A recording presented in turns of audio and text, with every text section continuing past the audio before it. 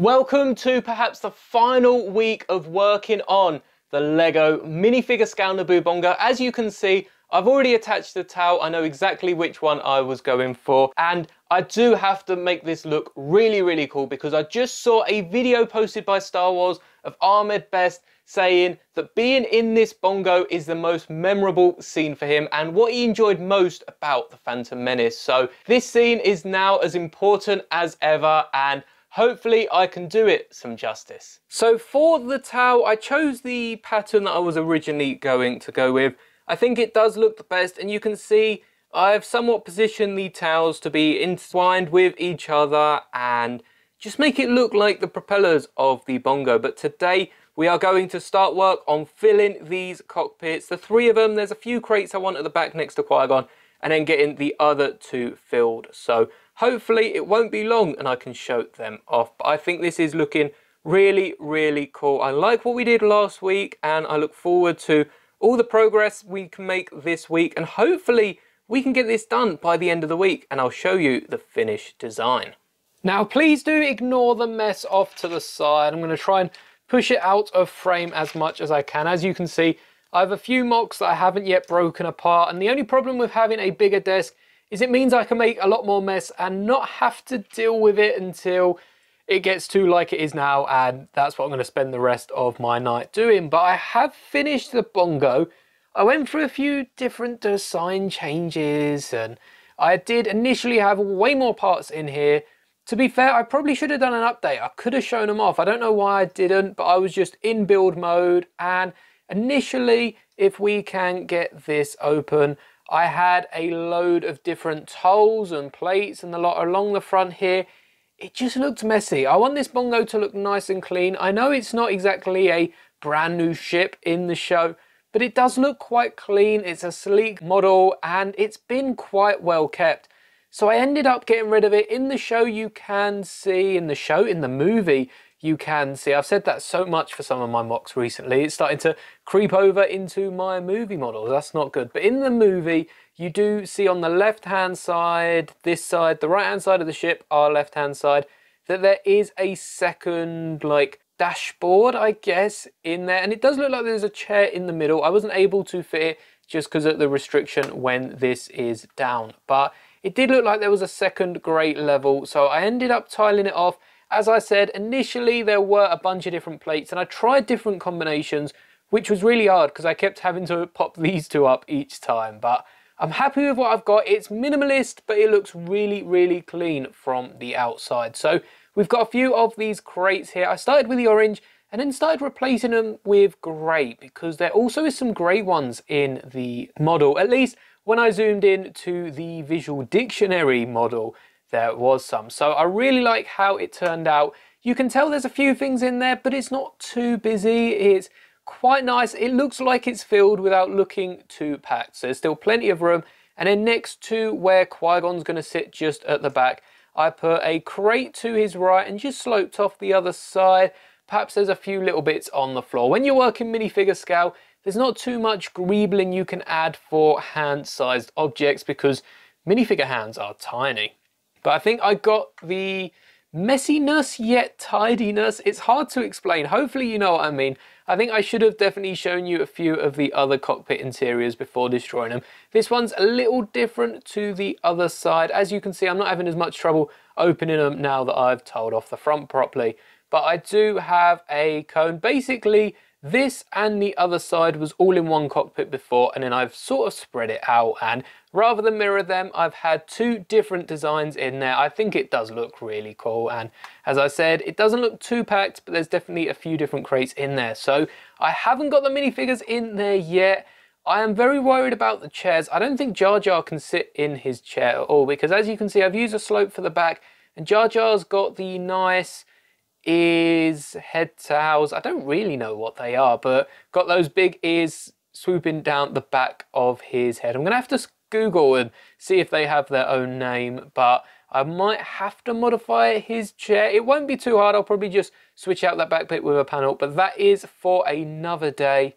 In fact, taking a look at my initial plan for this week, which hasn't really gone to plan, it's definitely drifted quite a bit. I initially had minifigures for not tomorrow. Tomorrow we're adding all the fish to the base, but the next day was going to be my day of minifigures, and that was just in case I needed to change the height of the cockpit, change up the seats, perhaps the model needed a big change, and needed a day's worth of work. So I think I'm going to keep with that. Tomorrow we will be tackling the fish, so just in a second for you at home and then we'll work on the minifigures. If I need to adjust it, it'll probably be then Tuesday. I will look at the scaling, make sure I haven't made it too big. I don't think I've checked it since I did the initial frame, so I'll definitely take another look at that.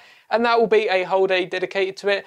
Most of these days are mixed with other builds. So recently I've just finished doing the Lego Star Wars Skyline. If you are new to the channel, definitely check that out. It hasn't come across exactly how I planned. And I did have to modify it as I went through, but at the end of the day, I've already built it. I might as well make the video on it and see what you all think. So definitely let me know what you thought of that video.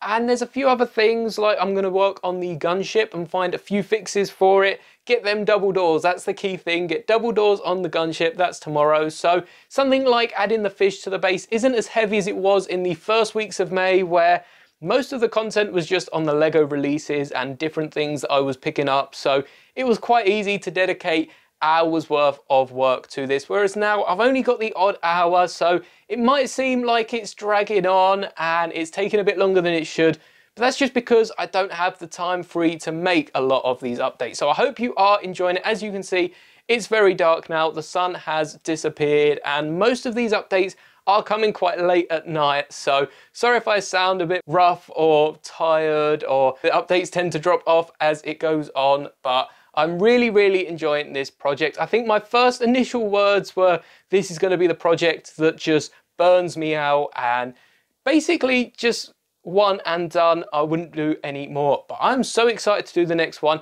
I did say in a few of my videos now when this come out, I think the one that I recorded today was the first one that I made it official at 100k subs. We are building a minifigure Star Destroyer. That is going to happen. I have no plans to change it, to change the style or anything, change the, the scale of the model. It's going to be minifigure scale. It's going to be as close to 145 as we can get, 43 meters long. That is massive, but of course we'll break it down into smaller sort of dioramas and then stack it up. I don't know where I'm going to build this up because we don't have the garden space. I'm going to have to hire out a warehouse or just assemble it over a massive field and rent that out because it's going to be massive. But definitely subscribe if you do want to watch that. And I guess on to adding the sea creatures to the base. I am going to try and keep these updates short because I don't want to show off too much of the work I'm doing because I feel like it would just make the showcase pointless in terms of you'd have already seen the whole model. So today we are going to be adding the fish and other sea life and I'm just going to raid my drawers to see what sort of fishy animals and anything to do with underwater life really that I can find. Once that is done, I think that will be all today. Again, I've got a few other projects that I want to work on because there's so many ideas I want to get out before the June release because Again, I've got so many ideas for that. So I'm gonna add all the fish to the model and hopefully I can show you what I managed to do. So the fish are in, and as you can see, this is the main thing I want to show off. The school of fish just down here. Turns out I didn't have as much fish and sea life as I thought I did. It turns out I had four fish, three frogs, which I am including. I know it's underwater, but you can get some sort of underwater toads and two crabs. So the four fish have been put here and I have used clips just to hold them in the 2x2s. As I already said, I think that looks really, really cool. And actually, if I had another fish, I'm not sure I could fit another one in that line. So I'd probably be able to wiggle another one there and that would be it. So I'm happy that I had enough to make it look really, really cool. We've also got the jellyfish that you've already seen. There's a sneak peek at a video you may have already seen and that is just an umbrella with a few of the tentacle pieces. And we've also got a red crab on the rocks. I wanted to put something here. I didn't feel like putting more rocks, so I've gone with the red crab. And that is one of three frogs. There is another two frogs somewhere on your screen now. Let me know down in the comments if you found all three frogs. You don't have to say where they are. You can if you'd like to, but just let me know if you can see all three. We also have this crab all the way I'll fix that afterwards. We also have this crab all the way over here on the left and he's actually stolen a blue stone from the top of the tower there. It's a very nice tower and it's going to be hidden by the bongo but we're all going to know it's there. I'll just have to remember to show it off in the showcase. So that is actually everything for today. That's all my sea life dotted around the underwater bit here. I'm very, very happy with how the fish turned out and tomorrow, I guess, the next step is looking at the minifigures and trying to fit them on the bongo. So a short update today, but definitely an effective one. Minifigure day is here, and by minifigure day, I mean we're finally to see if the minifigures fit on the bongo. I'm nervous, I'm excited, and I just really, really hope that the figures do fit because so far we are a bit further than being able just to go back and completely redesign the bongo. I will be measuring it up to scale tomorrow. I'm pretty confident it's still holding to minifigure scale, but we've always got to check and make sure we don't need an extra brick width or we've gone an extra brick too far with certain measurements. So I'll be getting this to the desk, putting the minifigures in, switching up what we need to with the chairs, especially looking at Jar Jar Binks. I think he's going to need a special chair just for him. So we'll have a look at that again. I can't wait to have this finished. We're getting so close, but I'm taking it slow and steady and making sure we don't mess up in these final days. So it is just going to be the minifigures, but let's take a look if they fit. And that means we will be taking Kenobi and Qui-Gon off of their display in the background and adding them to this MOC. For the minifigures, it's gone quite simple. I don't have a Queen Amidala to add as some little Easter egg. Perhaps we can add a pile of studs or something to represent that character.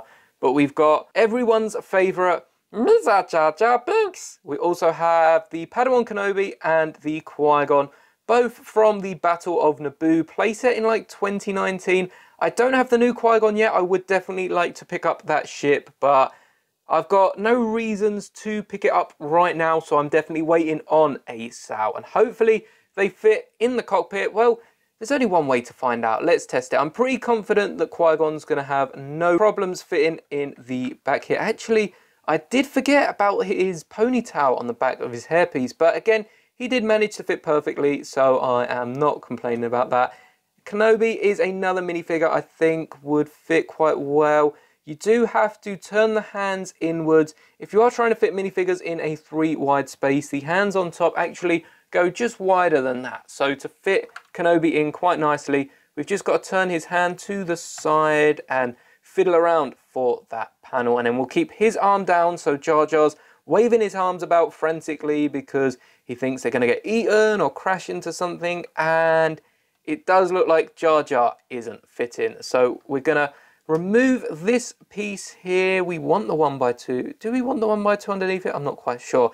But we're going to head over to our parts drawer. This is probably the first time I'm showing off actually getting a piece from here. And we've got our panel pieces up here. Again, forgive me for the bad lighting, but I don't actually think we have any of the dark reddish brown in here. So we might have to find out another way of getting that piece.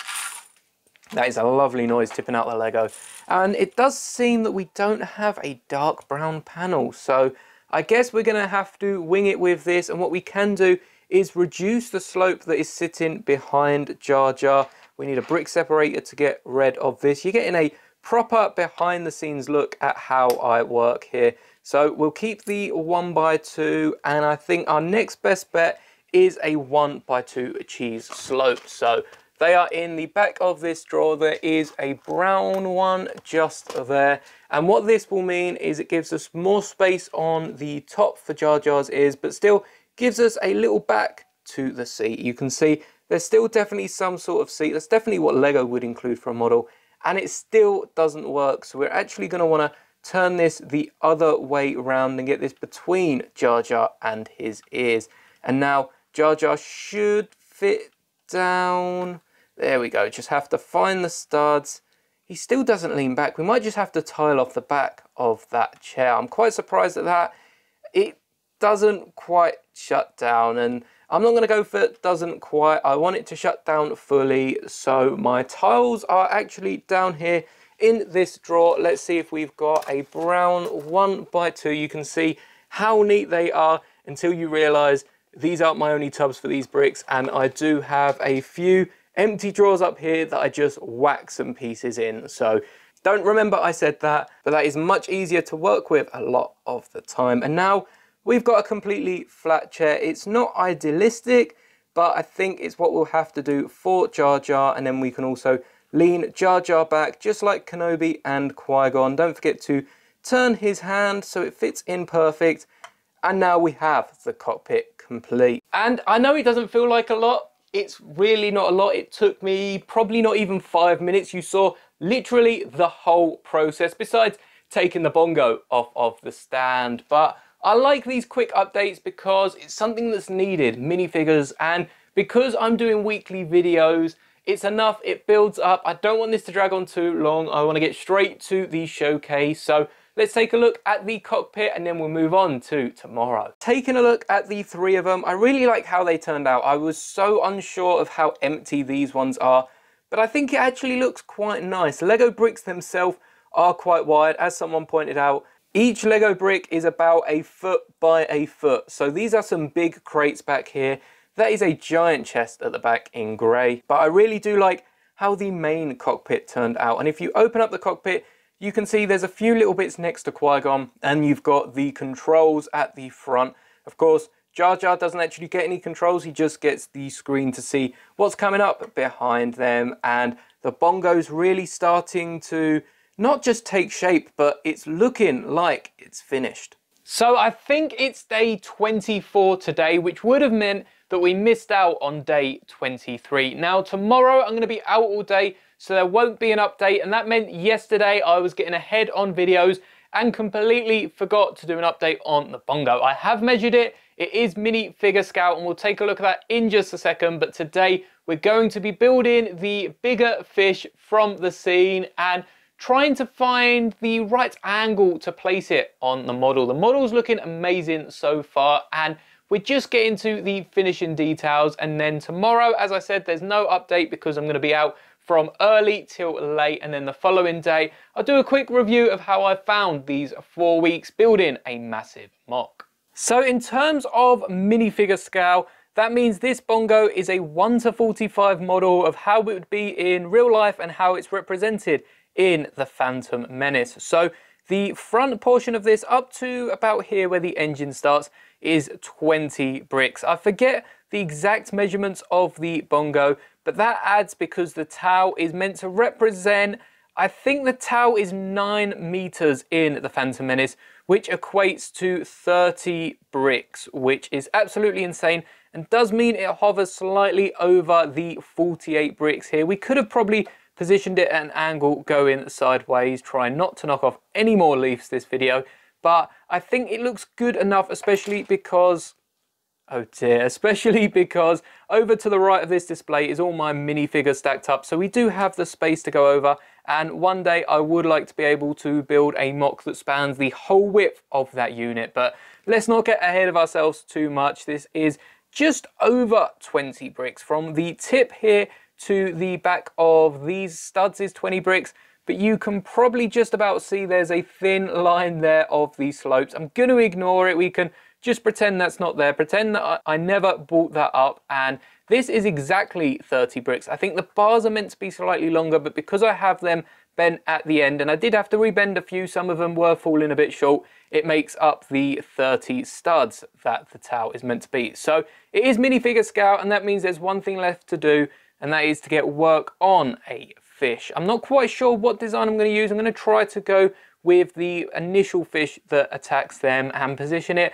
Originally, I was going to position it down here, but I feel like it should be bigger if it's closer to the front.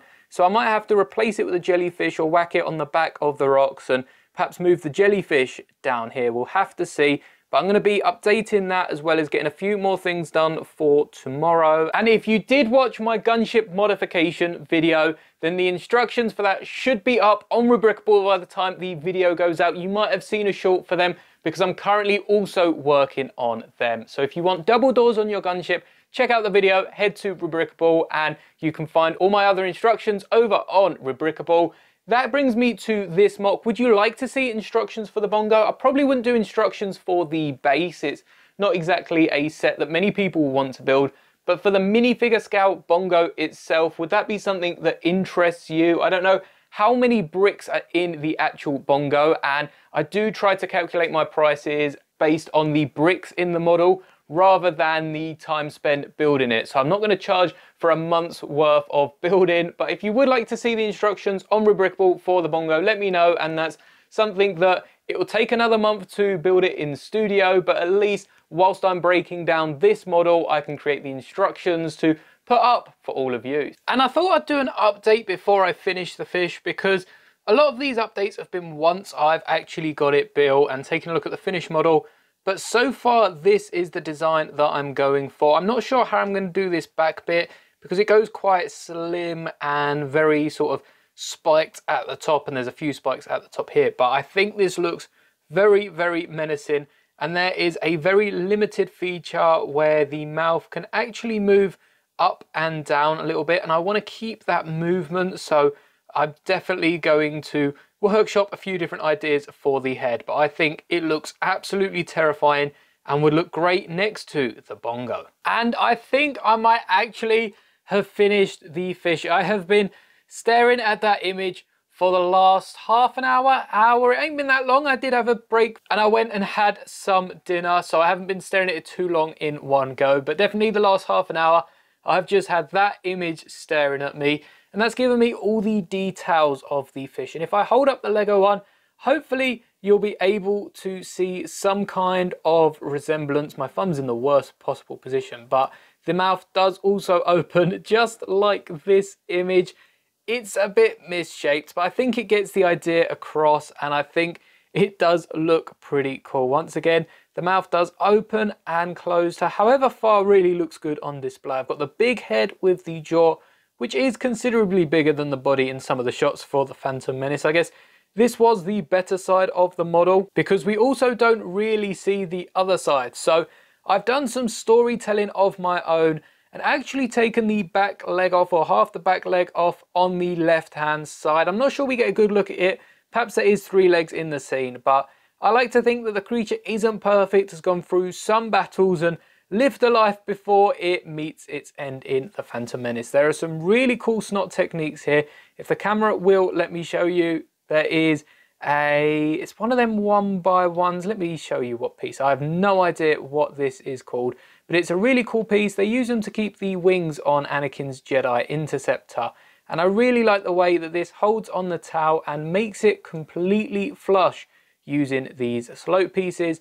We've then got some clips and bars keeping on the legs. The arms are just, or these pincer-like things are just slopes. And the reason I've done this is because it's probably one of the best ways you can build the pincers. That's what they look like in the model references for Star Wars. Of course, you can see that they're actually just giant fins in that image, but they looked like pincers. So I used two slopes because if you flip the two slopes, they look like the pincers are actually open. So Again, it's another little reference, Easter egg. I like including these little things in my set that are linked to something to do with either the model or with how I built it myself. And you're never going to see these open. I'm not going to display these open unless someone tries to copy what I've done, in which case, good luck with some of the angles I've provided. You're never going to see that like it is, but just in case somewhere in the future I decide to revisit it, I can look back and I've got all these little references in the model. I definitely like the way I did the spikes on top. I would have liked to have got some of the long antennas coming over the top, but I think given the time I've got and I also just want to get this model finished with now. So I've spent a few hours on this fish and I'm very happy with it. Now we've got to find some space to display it in the MOC. As I said before, I think the best way to display this would be to sit it somewhere at the back so that it looks like a massive fish that is just way far behind. So I'm actually going to move the jellyfish to the front corner here and that can fill up that gap. And then we've got that fish with its eyes locked on the bongo swimming from all the miles well over there. So it's actually massive, bigger than the bongo, but it's just far off in the distance, which is why it looks so small. And also mentioning about the tails, because they're only two studs over, they don't actually interact with even the Mynock on the side of my minifigure display. They hover over the space that the droids have made here. Hopefully for one of my next models, I'm gonna have to do it. If you've been on this channel a while now, you'll know that I absolutely love looking at my minifigures from that angle. So perhaps actually I should move my minifigures up there. But the Bongo, which is what we started talking about here, does have enough space to hang over, so it's really not a problem. And we will be taking a closer look at this in a future video. When you're watching this, I think it's two days time I'll have the showcase for this up. But now let's get one last look at the fish because as I said earlier, this is the penultimate update. There wasn't one yesterday, there won't be one tomorrow. And in fact, Friday, I will be wrapping this up with my thoughts on the whole month of building, how I found it alongside daily uploads, and just my experience, what I liked about it, what I wish I would have done better, especially approaching the end here. Knowing what I know now, what would I have changed at the start so that you can make the improvement. I can also look back on this when I'm creating my next massive mark and I just feel better prepared for the next one. So I hope you enjoyed this video. Don't forget to drop a like and subscribe before you go. And now onto the final update of the minifigure scale Naboo Bongo. Hello there, so it's now the final day, well, the final day of working on the MOC and there's actually going to be no work on the MOC today. Today I thought I'd just sit down and let you know how this month has been for me because it's been a long project. It's the longest project in terms of Lego that I've ever done. I don't think I've worked on any project for over a month. It might have been here and there for two, three weeks, but not this long, let alone near enough every single day for the month. I mean, it's not quite been every single day. I did take the one day off to record a bunch of videos. And then yesterday I was out. I got a few new tops, so you'll be seeing them in the videos, as well as a trip to the Lego store. Hopefully I'll make a video on that for tomorrow. And if you're keeping up with the community tab, you'll also know that we've got a whole situation with Rebrickable. They removed a ton of instructions and my Lego content is funded by, not necessarily me, but the Lego itself is funded by Rebrickable and they've cut off most of that income. It's not great, but thankfully, thanks to all your support, we are now monetized on the channel. So hopefully that will end up paying for all the Lego I end up getting, as well as all the other projects we tackle here on the channel, because I need to start saving for that massive Star Destroyer at 100k. Actually, you can't even see the model now. I haven't shown off my desk. This is, I guess, the first you're looking at it. And I'm going to have to sort out the camera angle afterwards, but hopefully if I can raise this enough, I can lower the camera and then you can see the bongo. At least you can see it a bit better now. But this month has been really, really fun. There's been a few problems on the channel regarding Rebrickable, regarding Bricklink. Bricklink isn't too bad. I just had a bunch of problems trying to find pieces of that to build some of the sets that I have recently and the parts haven't been correct. And it's so nice having one project to sort of switch off to and be able to at the end of every day because let's face it, most of my updates were coming after dinner, before bed, much, much later than I would have hoped initially. But it just allowed me to switch off from the day and before I sort of kick back and I'm done with Lego. I'm leaving on a high and it was really, really nice slowly seeing what this project became. I think the first thing we did was planned out the scale of it and started building the frame. And then we added more bricks, we added more bricks, and it's a really nice way of building MOCs because not only do you build it, it's there, it's either gone well or not. You can improve upon it, switch things up, and I know I didn't record everything that I did to this bongo, but I got most of it on camera, so you can actually see the progress I made across the four videos day by day for the most part at least. It is a bit annoying that towards the end I wasn't able to do it every single day and it is going to be a 28 day project. It's only day 26 today, but then tomorrow I will be filming the showcase in advance and then that goes out the next day. So the 28 days, I guess 29 days if you include the day delay between me getting my videos out, but it's really been a fun project. And if there's any big models you want to create, I definitely urge taking your time, doing it over a week. I know it's not been as big as some other models on this platform. As I keep saying, hopefully we can move the minifigure display into another one of them Smith's frames. I'm still yet to do the math for that, so probably that will be something that I end up doing today after I finish editing this whole video because a week's worth of content is also a lot of content, but it's been a really big help to me. I found it so, so fun and I cannot wait for the next project. I've got a few ideas what I want to do next,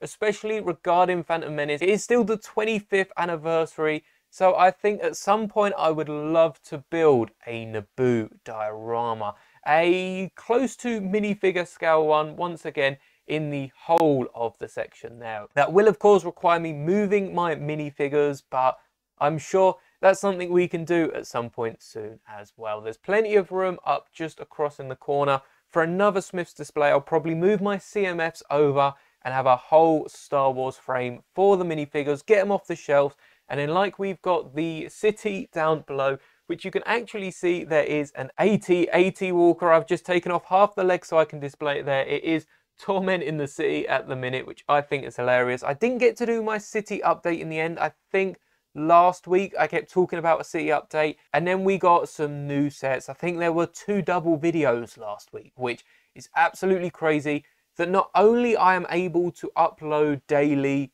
and have done for I think it's since August, so that's like eight, nine months now. But also record an update for the Bongo, not quite a full video, and then get another video on the top. Thank you so much for all your support. And once again, this really wouldn't be possible without you because it's the sales on Rebrickable that have actually paid for all the bricks that I bought in the set. So it's a shame that Rebrickable are no longer supporting my instructions, but I am looking to get them out. If you saw the community post from yesterday, you'll know that I'm trying to set up a Discord where I can get instructions out to you. The only problem is the user interface just won't be as friendly as something like Rebrickable. Let me know if you've got any ideas how I can get instructions to you for a fixed monthly price rather than you having to pay per instruction. And especially people that come along later, they just have to pay a month and they can get all the instructions that I've ever made. I think it's a much more friendlier way. I'm not trying to profit off instructions. I'm just trying to get a little bit to put towards the next model. And honestly,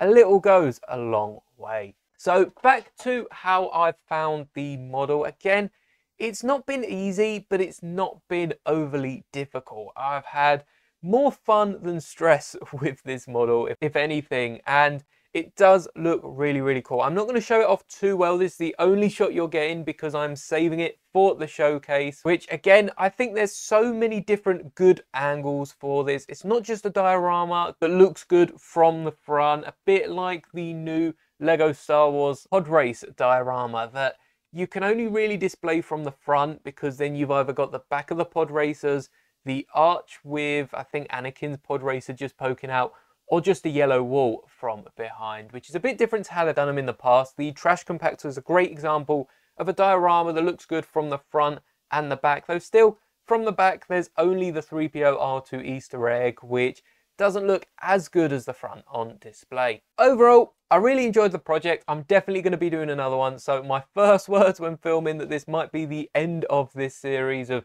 giant MOC building, it's definitely not. And I'm looking forward to slowly building up to that minifigure scale Star Destroyer at 100k. Thank you so much for all the support on this series here. I know it's only been four, five episodes if you include the showcase, but hopefully this is the first of many and we can only get bigger and better. So don't forget to like if you did enjoy this series, subscribe if you do want to see some more awesome LEGO Star Wars content, and as always, may the bricks be with you.